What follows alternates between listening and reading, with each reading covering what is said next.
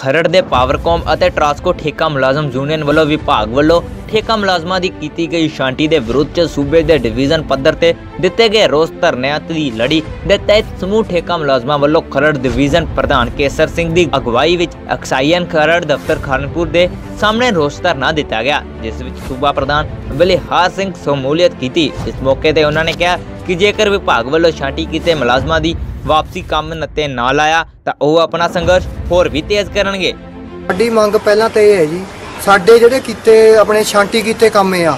30 ਸਤੰਬਰ ਦੀ ਨੀਤੀ ਨੂੰ ਰੱਦ ਕਰਵਾਉਣ ਲਈ 30 ਸਤੰਬਰ ਨੂੰ ਜਿਹੜੇ ਸਾਡੇ ਸ਼ਾਂ- ਆਪਣੇ ਕੰਮੇ ਸੀ, ਕੰਮ ਕਰਦੇ ਸੀ, ਬਿਜਲੀ ਬੋਰਡ ਦੇ ਵਿੱਚ ਕੰਪਲੀਟਾਂ ਦਾ ਕੰਮ ਕਰਦੇ ਨੇ, ਉਹਨਾਂ ਨੂੰ ਸ਼ਾਂਤੀ ਕਰ ਦਿੱਤਾ ਗਿਆ ਅਸੀਂ ਪੰਜਾਬ ਸਰਕਾਰ ਤੇ ਮੈਨੇਜਮੈਂਟ ਤੋਂ ਇਹੀ ਮੰਗ ਕਰਦੇ ਆ ਪਹਿਲਾਂ ਵੀ ਸਾਨੂੰ ਲਾਰੇ ਲਾਏ ਗਏ, ਪਹਿਲਾਂ ਵੀ ਅਸੀਂ ਡਿਵੀਜ਼ਨਾਂ ਦੇ ਸਰਕਲਾਂ ਦੇ ਧਰਨੇ ਕਰੇ ਆ ਪਰ ਸਾਨੂੰ ਕੋਈ ਨਾ ਤਨਖਾਹ 5-5 ਮਹੀਨੇ ਦੀਆਂ ਦਿੱਤੀਆਂ ਜਾ ਰਹੀਆਂ ਵੀ ਇਸ ਗੱਲ ਕਰਕੇ ਵੀ ਅਸੀਂ ਮੰਗ ਕਰਦੇ ਆ ਪੰਜਾਬ ਸਰਕਾਰ ਤੋਂ ਵੀ ਜੇ ਜਿਹੜੇ ਸ਼ਾਂਤੀ ਕੀਤੇ ਹੋਏ ਕੰਮ ਆ, ਉਹਨਾਂ ਨੂੰ ਬਹਾਲ ਕੀਤਾ ਜਾਵੇ ਤੇ ਸਾਡੀ ਇਹੀ ਮੰਗ ਆ ਵੀ ਜਿਹੜੇ ਕੰਮ ਤੋਂ ਕੱਢੇ ਆ, ਉਹਨਾਂ ਨੂੰ ਬਹਾਲ ਕੀਤਾ ਜਾਵੇ। ਦੇਖੋ, ਇਹ ਮੁਲਾਜ਼ਮ ਕੋਈ ਕੱਢੇ ਨਹੀਂ ਗਏ।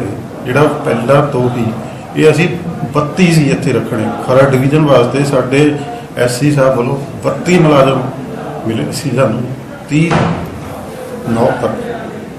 ਹੁਣ ਇਸ ਤੋਂ ਬਾਅਦ ਇਹ ਸਿਰਫ 24 ਰਹਿ ਜਾਣਗੇ ਖਰੜ ਤੋਂ ਡੇਵਿਡ ਵਰਮਾ ਜੀਵੇ ਪੰਜਾਬ ਟੀਵੀ।